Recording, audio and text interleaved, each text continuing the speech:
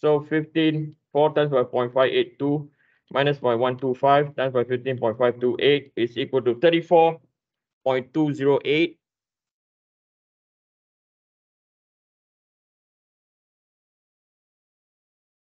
How false? Okay. So this question is pretty abstract. The key thing, I'll let you guys finish copying first. The key thing to watch for, okay, which I make mistake, is you have to realize that at point G, you have a what? M-A-G-Y. Are we clear? Okay. So now for the last chapter, uh, the the last chapter is so-called kind of like straightforward kind of okay don't worry i will do a lot of examples and if my teaching evaluation i get 75 percent i will zoom in on which question will come out okay so one of the question will be from homework what homework nine one of the question will be from homework eight one of the question will be from homework what? Seven. I will tell you what is going to come out on homework nine. Not exactly, but rather you have to do what? You have to do, how many questions are in homework nine? I think a lot. I will half your study time. How's that? Okay, I need 75%. Okay, right. So now we are going to go into a new topic. And if we look into our textbook, uh, where's our textbook? So if you look at our textbook, I have to be careful that I don't open the exam. That will be so funny. We've seen it, we've seen it.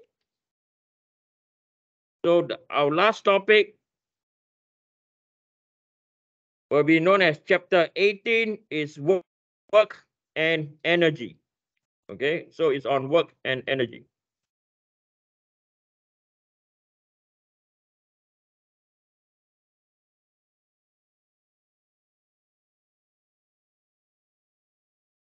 Okay. So we are, I mean, I'm going to use the same terminology used by the textbook. Okay. So kinetic energy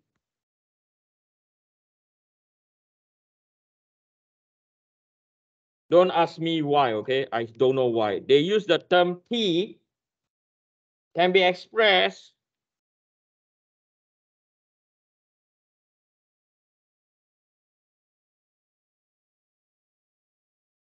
as the sum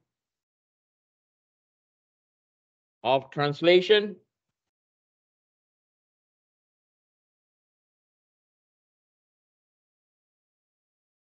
and rotational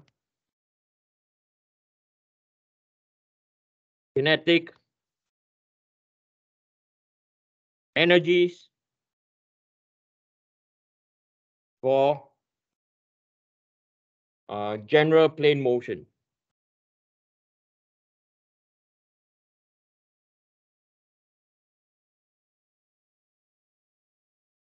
Now, for our case, we only look at what? 2D or planar. Okay. We don't do 3D here. Okay. Some, uh, uh, I mean, 95% of the cases, you can do 2D analysis. Okay. In what case you need 3D? Anyone? What case you need 3D? If you send anything up to where? Space. Are we clear? Okay. Good, good luck. I don't agree with the space program, but there's not enough food already, and we are doing space. So P is equal to half M V, okay, G over here squared plus by half Ig, okay, omega squared.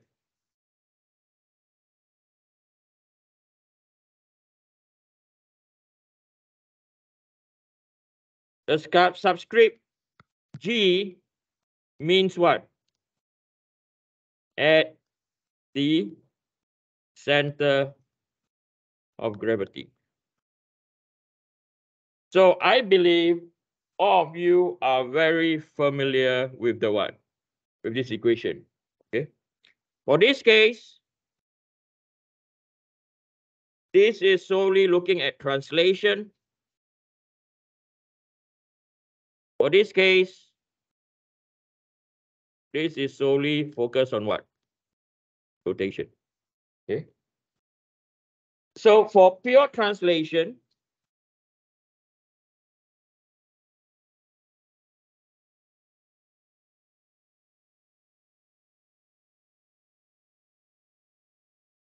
the cases.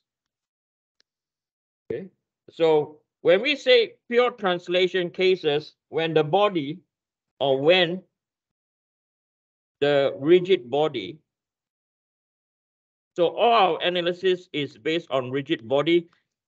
We cannot do this with gelatin. Okay, it's subjected to only so two types, curve, linear, or translation or rectilinear.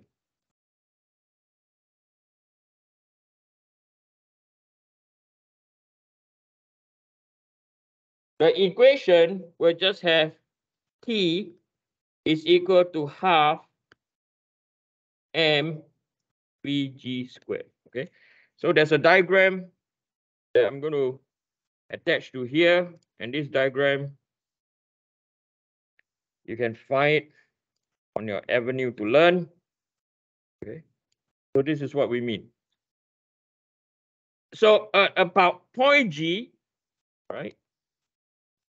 As I say, the velocity is acting at the center of gravity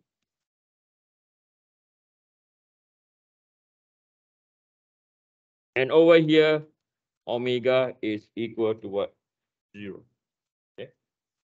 So this is uh, very obvious. Okay. So in the second case, okay, in the second case, for pure rotation cases,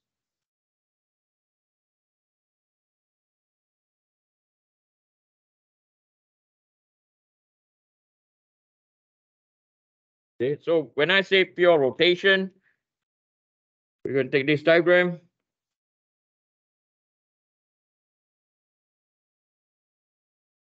Over here, okay, when you have pure rotation. So for this case, the rigid body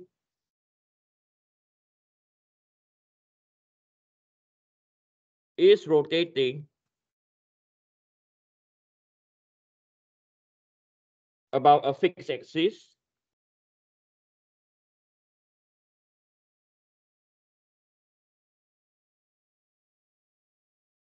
For this case, the fixed axis will be at point O.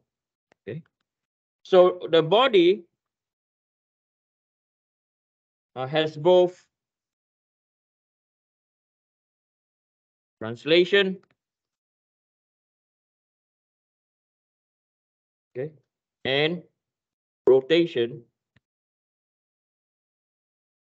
Kinetic energy.